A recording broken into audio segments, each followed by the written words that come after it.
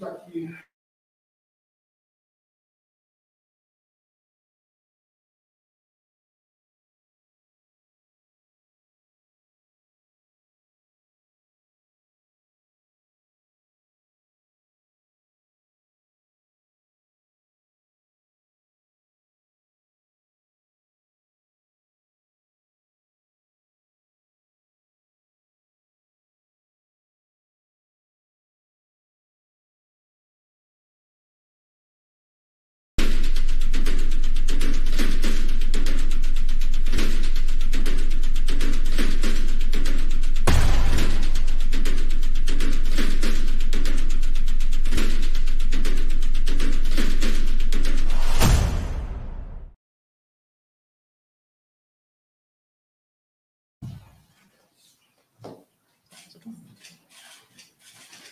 O, jesteśmy.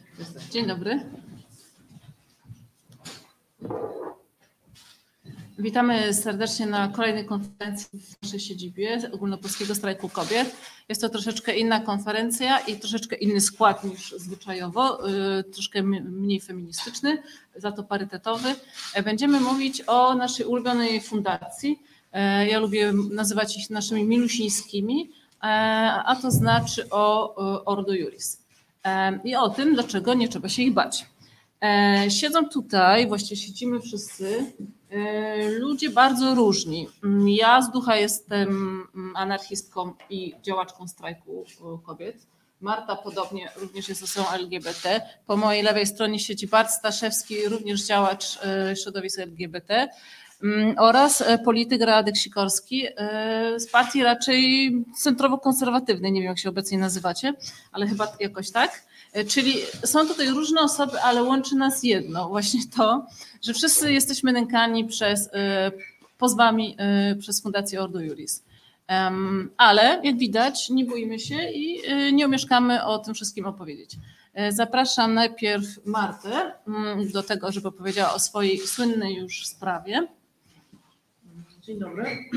Mnie Fundacja e, Ordo Juris wytoczyła sprawę, dlatego że powiedziałam, że są opłaconymi przez Kreml fundamentalistami i e, jednocześnie e, Fundacja wystąpiła o zabezpieczenie do sądu, o wydanie postanowienia o zabezpieczeniu i o zakazanie mi na czas postępowania e, mówienia o tym, że Ordo Juris to są opłacani przez Kreml fundamentaliści.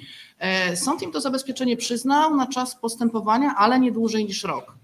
E, Ten zakaz skończył mi się 14 maja. W związku z tym mogę teraz i mówię to właśnie, e, że Ordo Juris to są opłacani przez Kreml fundamentaliści. Na razie tyle. Wydaje się, że szykuje się kolejny pozew, czekamy z napięciem, ale dzisiaj tak e, jakby łamiąc pewną tradycję, właśnie nie o Kremlu i, i i związkach Ordo Juris e, z tymi strefami będziemy rozmawiać, a o czym innym, to właśnie o tym, dlaczego się nie boimy pozwów e, Ordo Juris i dlaczego Państwo również nie muszą się tego bać. Bart opowie o swoich przygodach. Szanowni Państwo, no mamy taką śmieszną sytuację, nieśmieszną dla aktywistów i aktywistek, ponieważ e, Ordo Juris e, stoi niejako na straży moralności i etyki i trochę tak o, e, typowo e, dla siebie zachowuje się pieniacko i e, uprzykrza życie aktywistom i aktywistkom, którzy próbują działać e, w, w czasach, które są bardzo trudne. Można powiedzieć, że to jest takie nękanie aktywistów i aktywistów, aktywistek LGBT, którzy odważyli się e, powiedzieć, że w Polsce jest homofobia, że w Polsce są strefy wolne od LGBT i że polski rząd wspólnie z prawicowymi mediami szczuje na osoby LGBT, wykorzystując każdą, absolutnie każdą sytuację, żeby tak się działo. No w moim przypadku tak się zdarzyło, że Ordo Juris wystosowało co najmniej kilkanaście zawiadomień o możliwości popełnienia wykroczenia, przez co przejeździłem przez e, dosyć dużą część Polski, prawie 3000 kilometrów, broniąc się. I niestety dla Ordo Juris, e, ale wszystkie te e, zawiadomienia zostały albo umorzone na etapie śledztwa, albo e, umorzone na etapie już sądu, który nie znalazł nic złego w moim postępowaniu, uniewinnił mnie, albo umorzył postępowanie. To było pięć razy. Ja, szanowni państwo, w stanie dać radę jestem, bo przywykłem już do takiego nękania przez prawicowe organizacje, ale z drugiej strony myślę o wszystkich tych, na których to działa. Mam na myśli na przykład atlas nienawiści aktywistów i aktywistki, którzy zostali pozwani przez, y, przy pomocy Ordo Juris, przez samorządy, które poczuły, poczuły się dotknięte e, ich e, atlasem e, i mają prawie pięć pozwów. Także to nie jest wyjątkowa sytuacja, gdzie prawicowe organizacje wykorzystują olbrzymie budżety, które za nimi stoją, żeby szczuć na aktywistki i aktywistów i żeby wykorzystywać coś takiego, co się nazywa SLAP, SLAP to jest strategiczne pozwy przeciwko publicznej partycypacji, można tak powiedzieć. W nich chodzi o to, żeby e, zastraszyć e, i wystraszyć kolejnych chętnych, którzy odważyliby się głośno mówić o tym, że im się nie podoba to, co się dzieje w Polsce. E, pozywa się aktywistów, dochodzi do tego, że oni muszą płacić gigantyczne pieniądze na swoją obronę, obronę finansowo są pod olbrzymią presją, pod olbrzymią presją także prawicowych mediów.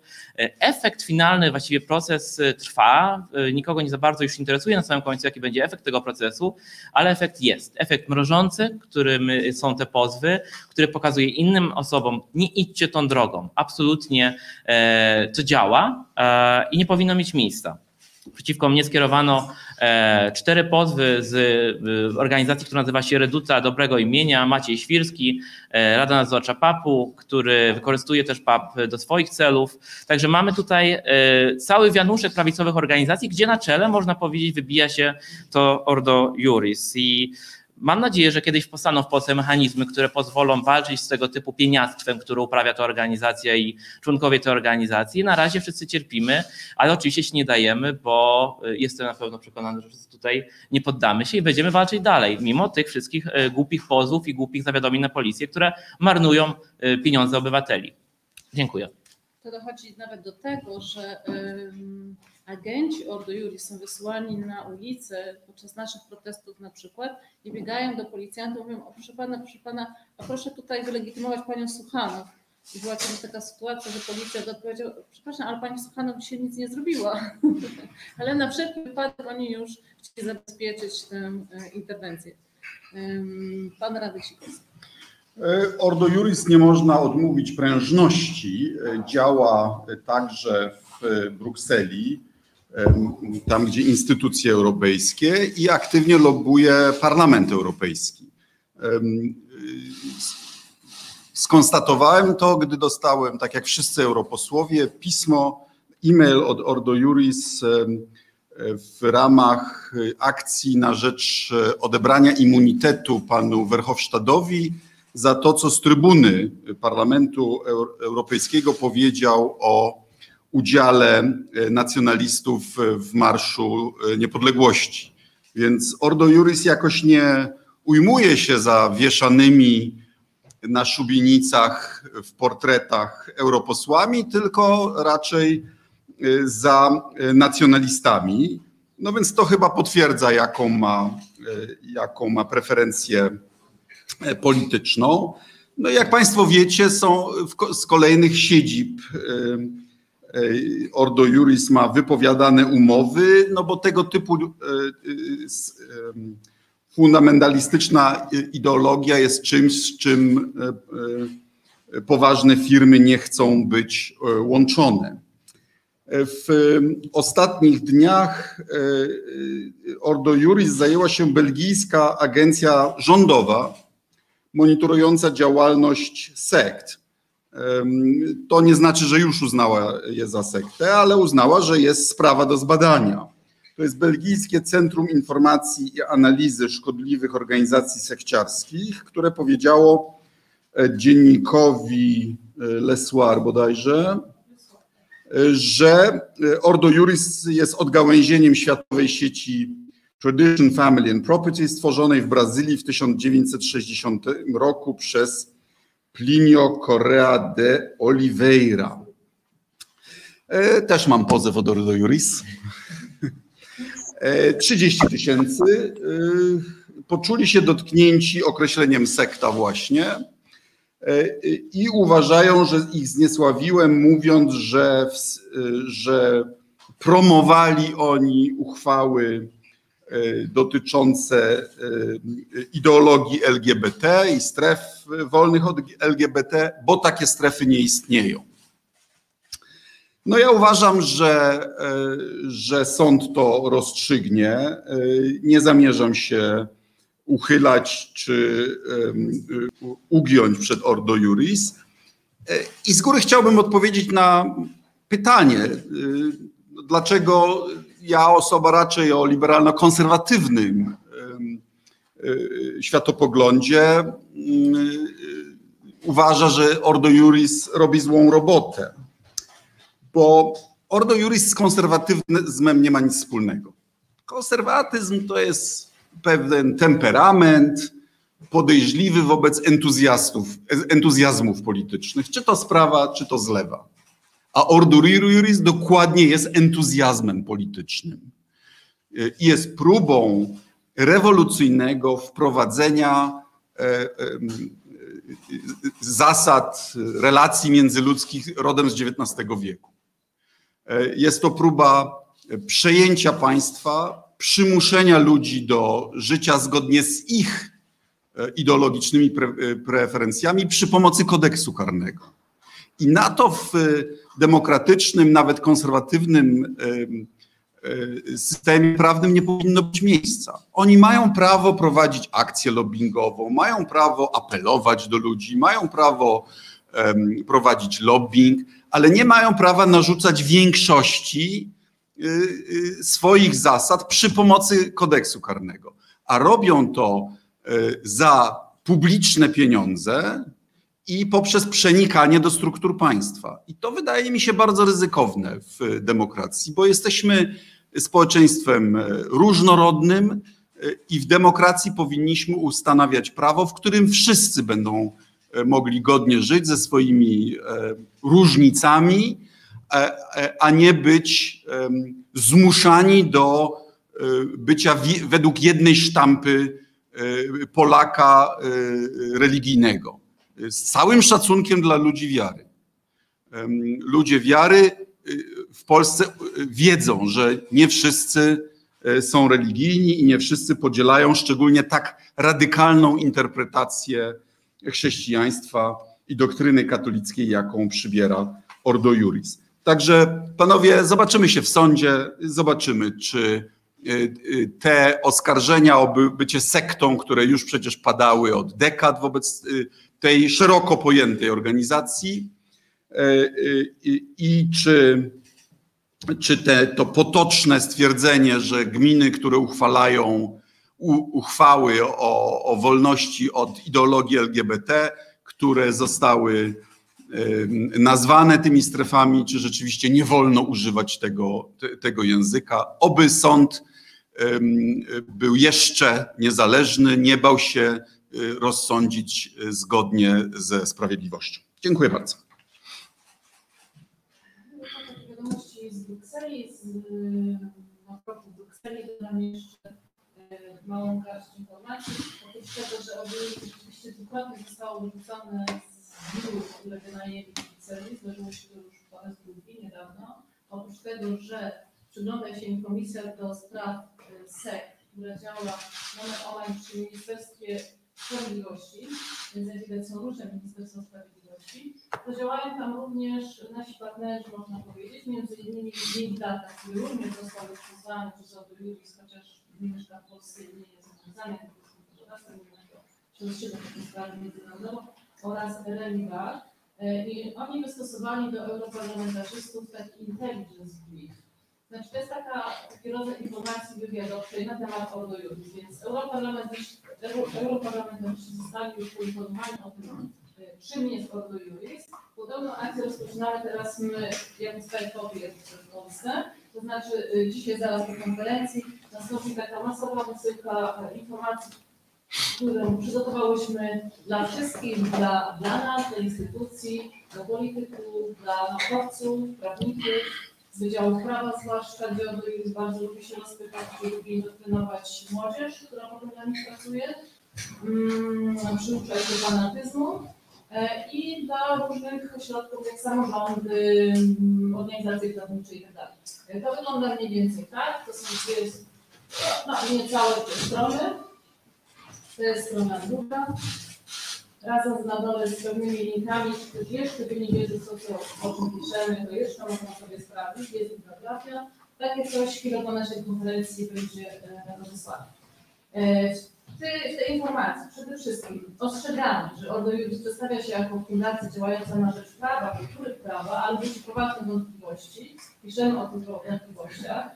Em, Potem em, informujemy, kim są, skąd się wzięli oraz przede wszystkim apelujemy o to, żeby odsunąć ich od wszystkich ścieżek legislacyjnych, od wszystkich płaszczyzn, gdzie prawo jest tworzone.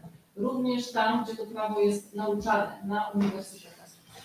E, Służby polskie nie działają, dlatego my, jako obywatelki, tak się podpisujemy pod tym listem z poważaniem obywatelki, poczuwając się do obowiązku i e, tak naprawdę martwiąc się po prostu o nasze bezpieczeństwo, fizyczne bezpieczeństwo, rządów organizacji, które atakują inicjatywami antyaborcyjnymi, zapowiadają konwencji stambulskiej czy konwencji antyprzemocowej, stwarzają dla nas jako obywatele tego kraju niebezpieczeństwo. E, Apelujemy zwłaszcza do prawników, e, bo to jest środowisko, w którym Ordo Juris działa. Ci ludzie to nie są wasi partnerzy. Oni nie powinni być waszymi partnerami. Powinniście się wstydzić kontaktów z nimi i powinniście, jakby, mówiąc wprost, e, nie mieć z nimi nic wspólnego, zadbać o z nimi nic wspólnego. E, Teraz przejdziemy do jeszcze jednej rzeczy.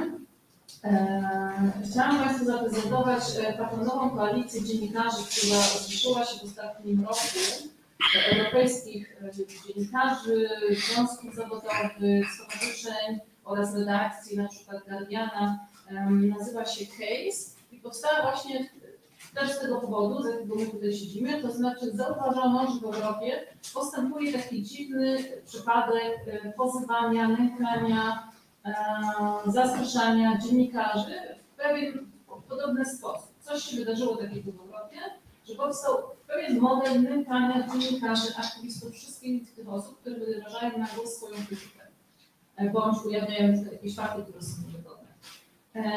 To zrzeszenie nazywa się CASE, już o tym wspomniałam. Em, Bierze w tym udział, biorą w udział 63 grupy, stowarzyszenia i tak innymi redakcje, uniwersytety, na przykład redakcja Guardiana oraz 95 grup dodatkowych, takich jak na przykład Greenpeace i również Ogólnopolski Strajk Kobiet. Właśnie niniejszym e, ogłaszam, że do tej koalicji się w tym momencie zaliczamy. Będziemy razem z nimi współpracować również na tym, żeby prawo europejskie zostało zmienione takie przypadki nękania oraz zastraszania, jakie Juris, y, nie miały miejsca, żeby zabezpieczyć aktywistów i dziennikarzy przed takimi procederami.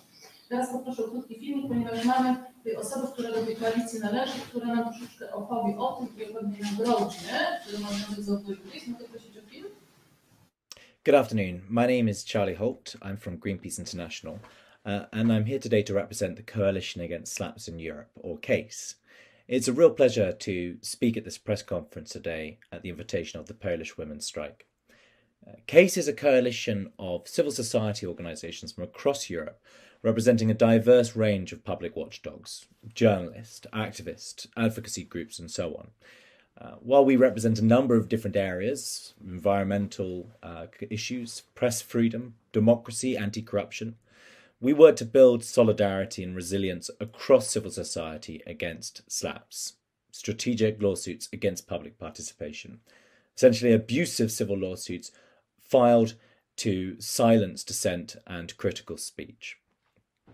We do this in three main ways. Firstly, by exposing acts of legal harassment and intimidation.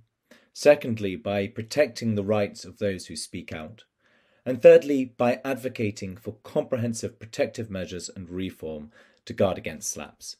In short, we work through campaigns, advocacy, and legal resilience. The European SLAP contest is the first main campaign of CASE. It aims to, rais- to raise awareness of slaps and to name and shame the worst offenders from across Europe. On Friday, 21st of May at 10 a.m., the, winner, the winners of the first ever Eurovision, European Slap contest will be announced via our website www.the-case.eu. These have been voted on by a jury of five MEPs and two civil society representatives. A separate award, which we're calling the People's Choice Award, is open to the public and has already attracted over 50,000 votes. Poland is represented in two separate nominations in the European Slap contest. Jaroslav Kaczynski has been nominated for Slap Politician of the Year, while Ordo Juris is nominated for Bully Lawyers of the Year. This nomination recognises the group's campaign of legal harassment and intimidation against activists and politicians who have spoken out against the anti LGBT resolutions propagated by the group. We very much hope you will tune in to find out the results on Friday uh, at 10 a.m. CET. Uh, and I very much wish you all the very best for the rest of the conference. Thank you very much. Jeszcze parę zdań, bo chciałem się podzielić z Państwem refleksją co do stawki, jaka w tej sprawie się rozgrywa. Uważam, że y, dominującym konfliktem światowym będzie rywalizacja modeli rozwoju. Model pekiński, modernizacja techniczna w ramach e, autokracji i model zachodni, modernizacja w ramach demokracji. To jest trochę taki wybór, przed jakim Polska stanęła w XVII wieku. Poszliśmy w kontrreformację, e, zapadliśmy się w prowencjonalizm i kołtuństwo. Nowoczesność poszła gdzie indziej i to doprowadziło do e, na koniec upadku naszego kraju, bo modernizowaliśmy się wolniej niż inni i nie zdążyliśmy za duchem czasu. I teraz jest podobnie. E, Pytanie polega na tym, czy polska nauka, polskie szkolnictwo, polskie państwo będzie promowało nowoczesność, patenty, gospodarkę opartą na wiedzy, y, komputeryzację kwantową, sztuczną inteligencję, biotechnologię, wszystko to, co może nasze życie w ramach oczywiście uregulowanej rzeczywistości y, m, zrobić nasz, życie nasze, naszych dzieci bardziej zasobne, a Polskę wydźwignąć do, tam, gdzie nasze miejsce, czyli do, do, do rangi jednego z 20 najważniejszych krajów świata. Czy też y, posłuchamy utopistów prawicowych, którzy chcą nam stworzyć teologiczną y, utopię z, rodem z XIX wieku. I wtedy będziemy, będziemy tak jak e, polska szlachta w XVII czy XVIII wieku udawali, że jesteśmy wspaniali, tylko że, będziemy coraz słabsi. I, I ja uważam, że to jest naprawdę wielki wybór cywilizacyjny, ale niestety mamy władzę, która prawdziwymi decyzjami finansowymi e, wspiera najbardziej prawicowe, najbardziej antynowoczesne e, środowiska w naszym kraju. Dziękuję bardzo. Powtórzę raz jeszcze. Siedzimy przy tym stole. Wspomniałam, ja zducha anarchistka, siedzi z nami konserwatysta, siedzi z nami e, działacz LGBT performer, siedzi z nami Marta Lempart, działaczka kobiet, prawniczka.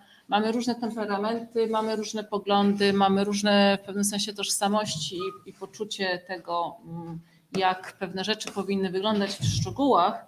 Natomiast e, łączy nas tutaj już jedno. E, Ordo Juris jest przeciwnikiem e, nie tylko kobiet czy osób LGBT, tak jak to najbardziej wybrzmiewa chyba i tak jak właściwie chyba Ordo Juris najbardziej lubi być pojmowany, ale jest po prostu przeciwnikiem nas wszystkich obywatelek, obywateli, bo rozwala nam, mówiąc wprost, e, państwo. E, Jednocząc się właśnie, tak jak e, ta koalicja dziennikarzy, e, tak jak my tutaj przy tym stole, e, sprawiamy, że mamy większą moc e, w działaniu przeciwko nim, e, przeciwko tym złym rzeczom, które robią. E, Jako przykład podam takich działań wspólnotowych e, naszą ostatnią inicjatywę strajku kobiet razem z platformą taką petycyjną We Move europejską. We współpracy udało nam się przede wszystkim stworzyć petycję e, przeciwko kandydaturze pana Aleksandra Stępkowskiego, czyli założyciela Ordo Juris i jego i tej organizacji prezesa przez kilka lat, obecnie sędziego najwyższego. Przełykam to z goryczą, udało się jego kandydaturę e, spowodować, żeby jego kandydatura była odrzucona tak nawet bez przesłuchania. E, Razem z jego kandydaturą poleciały dwie pozostałe polskie kandydatury. E, Mówię o kandydaturze do Europejskiego Trybunału Praw Człowieka. Udaje się um, y, zrobić dużo rzeczy. Jak na razie właśnie tylko tak dziwnie się składa, że głównie poza Polską się te rzeczy udaje zrobić. I to jest zastanawiające. Powinniśmy sobie tutaj zadać pytanie, dlaczego. Więc to jest taki doskonały przykład tego, co się ostatnio stało, co można razem zrobić.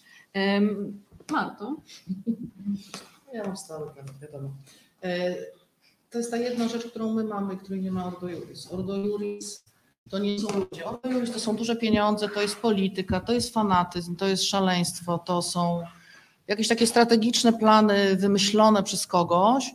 Natomiast Ordo Juris to nie są ludzie, którzy wyjdą na ulicę, to nie są ludzie, którzy są do czegoś przekonani. Ordo Juris nigdy nie będzie masowe. I rozumiem, że macie kompleks na, w stosunku do strajku kobiet szczególnie i że was bardzo denerwujemy, bo wy nie jesteście w stanie na ulicy wprowadzić nikogo, nikt z wami nie pójdzie, nikt za wami nie stoi. E, No poza tym, że jesteście opłacanymi przez kremy fundamentalistami, ale to wiadomo. Jak widać, e, miał nie być temu, a mówię temu, e, więc dla osób, które są jednak tym zainteresowane, mamy również spory tych informacji, to znaczy ja ponoć pozwana przez Ordo Juris, ale wciąż jest to sprawa niewyjaśniona, dlatego że Ordo Juris na Twitterze pokazał taki plik dokumentów, które są niby sporządzone w sprawie przeciwko mnie, ale tak się zdarza, że ani ja, ani sąd nie jesteśmy o tej sprawie poinformowani, więc nie wiem, co to jest za przypadek. Taki nowy przypadek nękania bez nękania albo nękania, pseudo-nękania. Mm, Więc dla tych, którzy są jednak zainteresowani Ordo Juris i Kremlem, przygotowałam taki plik informacji ze wszystkimi dowodami, które nie wszystkie mogłam opublikować w książce To jest wojna, e, gdzie Ordo Juris jest również e, prezentowane, ale dla e, takich e, sceptyków, którzy wciąż mówią, a e, proszę podać dowody, e, a skąd to twierdzenie, że, e, to właśnie dla tych wszystkich sceptyków e, zorganizowałam cały taki plik, który na stronie Arbitrora e, był jakiś czas temu opublikowany, to podamy e, w poście albo gdzieś w komentarzach tutaj pod linkiem, ale mamy także również niespodziankę, taki nowy filmik, w którym opowiadam o tych związkach. Poproszę tutaj zajawkę. Dzień dobry. Opowiem dzisiaj Państwu historię o Fundacji Ordo Juris i jej związkach z Kremlem. Czyli o czymś, o czym owa fundacja właśnie nie lubi, żeby mówić. I właśnie dlatego o tym opowiemy.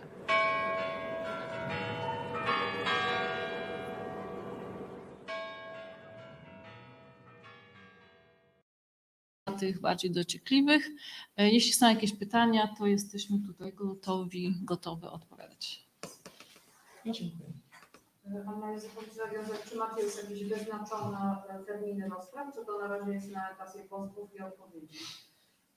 Chyba No, każdy z naszych przypadków jest to inny. Nie wiem, jak mielibyśmy odpowiedzieć na to pytanie. Nie mówimy o jednym pozwie, mówimy o tym, że ich są dziesiątki.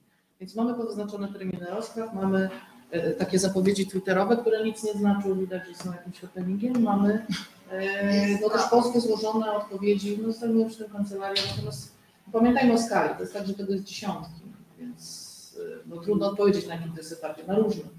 Tak, na, tak naprawdę Nic mi o tym nie wiadomo, natomiast jestem pod wrażeniem tego, że w odpowiedzi na moją odpowiedź na pozew otrzymałem dokument liczący y, wraz z załącznikami 444 strony. Bo to jest na stronę. Bo widać, że taki pas. E, Mój plik dosyć, no nie wiem, może tam będzie więcej niż 440.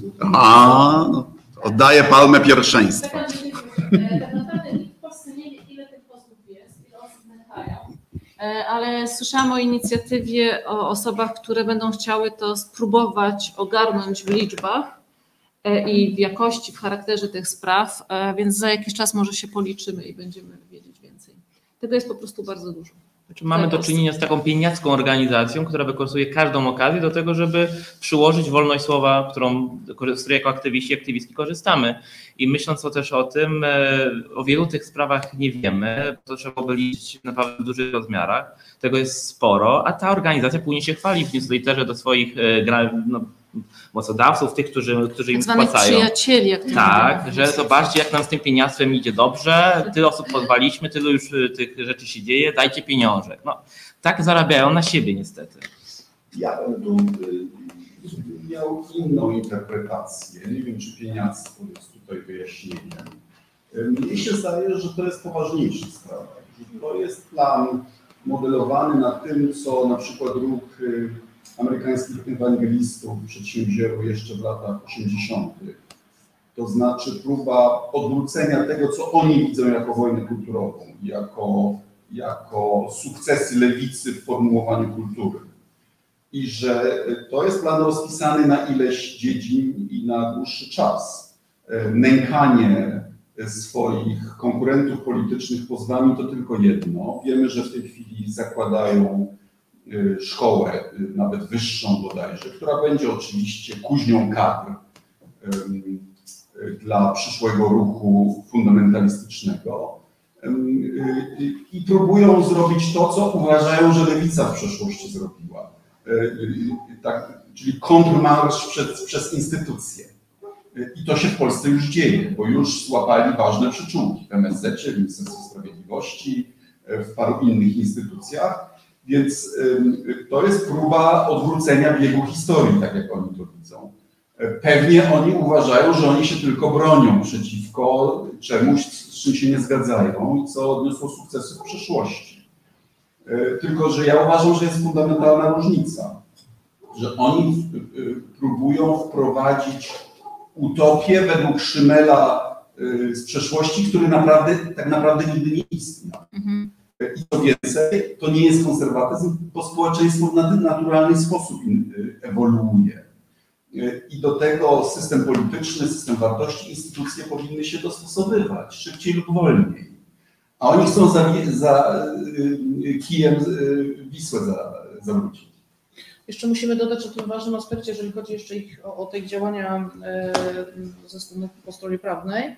E, Wstępują do postępowań i bronią osób, które stosują mowę nienawiści. To jest dosyć masowe, czyli osoby, które w różnych miejscach się wypowiadają, e, czy dopuszczają się przestępstw nienawiści, mają zapewnioną obsługę ze strony prawników Ordo Juris.